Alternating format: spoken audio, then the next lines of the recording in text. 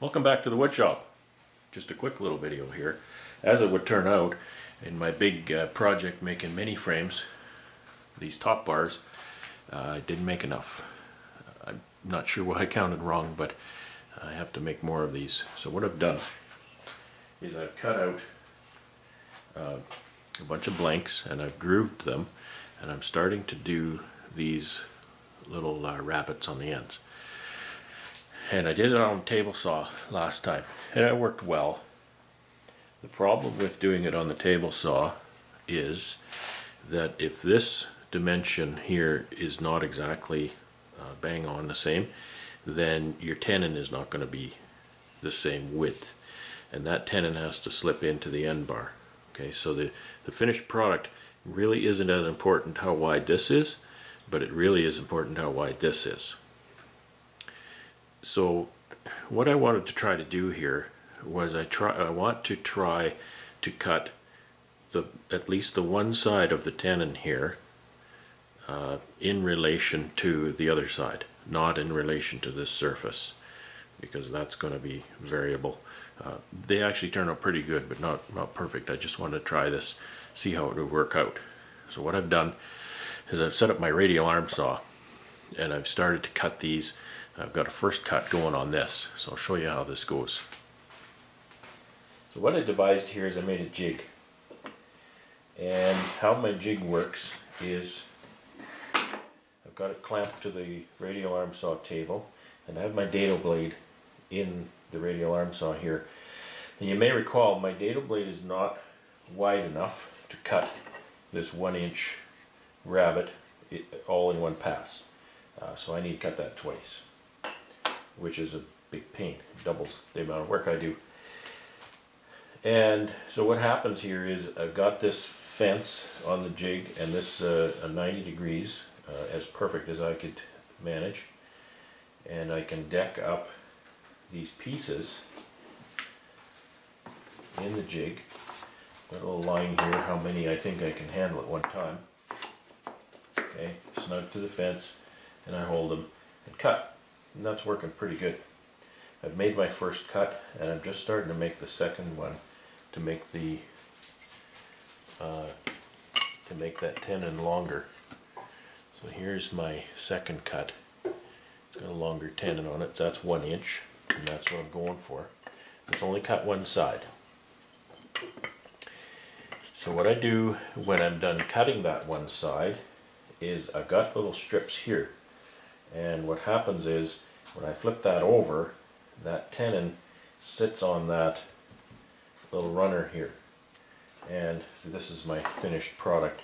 So that tenon sits on that little so Now, my, my dado blade references the bottom of this tenon. Okay, so now I can set the dado blade to be exactly the right height in relation to the bottom of the tenon, or the other side of the tenon if you care to look at it that way. So the, uh, the actual width of these top bars is far less important now. I can now uh, cut that tenon and dial in that width for that tenon using this uh, using this little runner. I'll cut a few here. You can see how the cutting process is going. Thankfully, this dado blade far less noisy than the than the big 12 inch crosscut blade.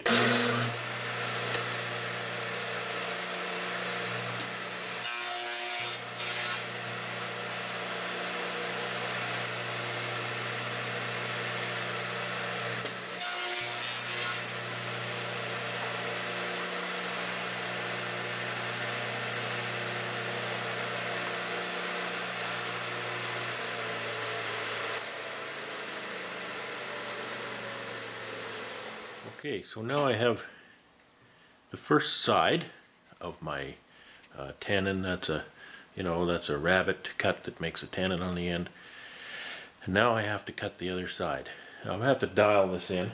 I need to uh, lower the saw a little because what's going to happen is when I turn these over, that'll sit on my little strip of wood and this is actually going to sit lower. So I'll start with one of them.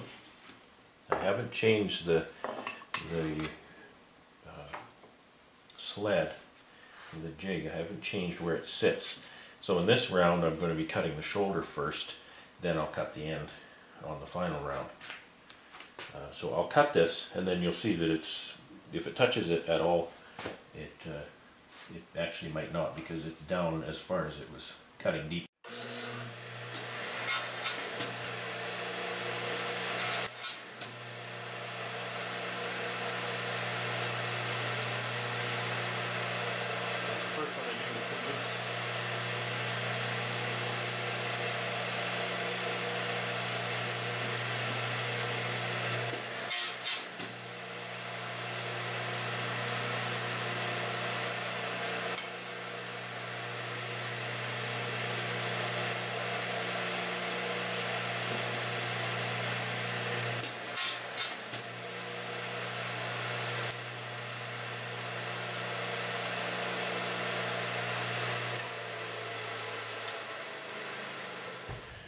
Okay, so that's more or less dialed in.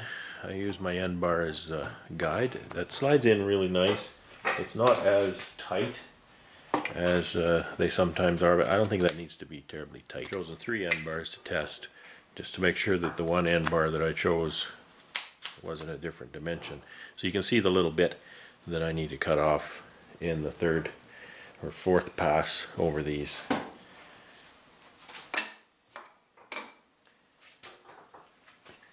So I set those up so that first shoulder, and the face of that is sitting, that one's already cut on that little strip. Okay.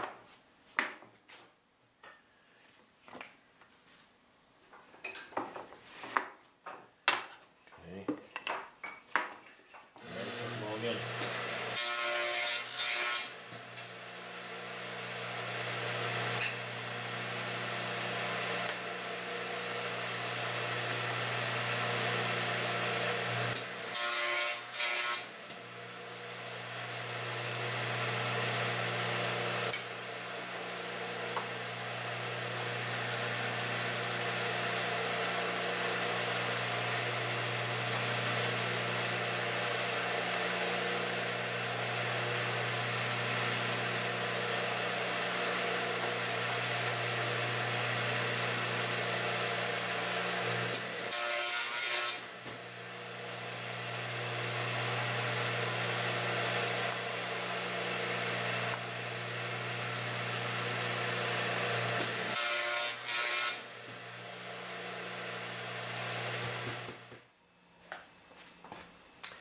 In like fashion, I'm now milling the ends of some bottom bars.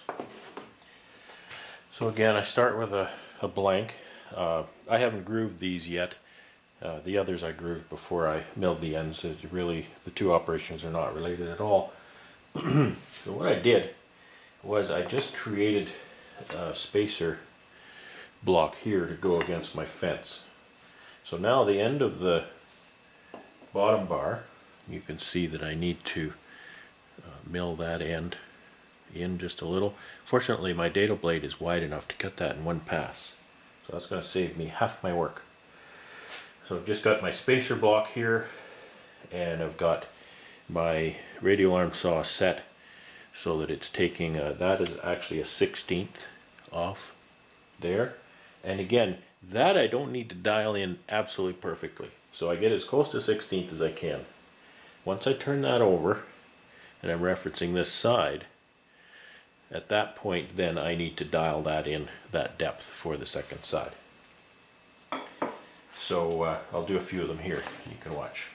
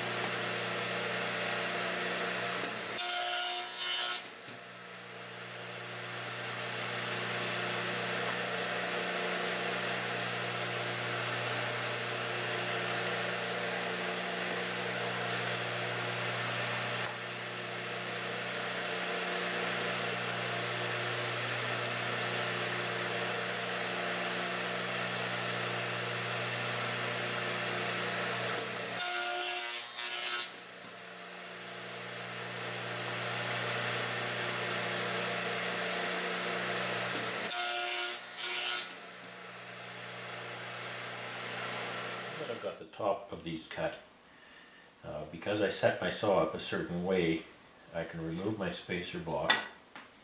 And then for the next cut, this piece will rotate and it will rest, the shoulder of this will rest against this little shim here. And it sits down there nicely, it rests on this one as well, and it's, it's tight in there. I've made those shims perfectly spaced so that that is the right distance. And now, what I have to do is I have to lower the blade a little uh, to dial in the depth of this side cut. Because it's really gonna clear it right now.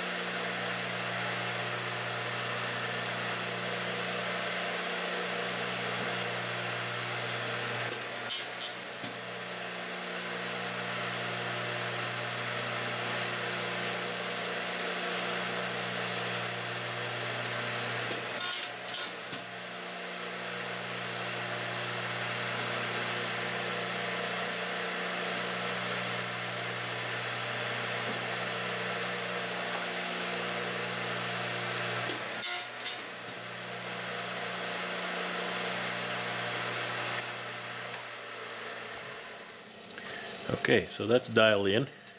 That fits nice. It's not tight, it's not loose. It'll hold itself on there.